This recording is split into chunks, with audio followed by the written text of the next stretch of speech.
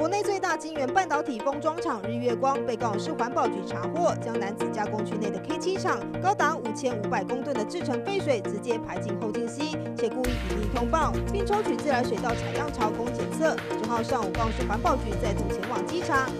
一月一号周三晚间十点，公共电视独立特派员废水的里程。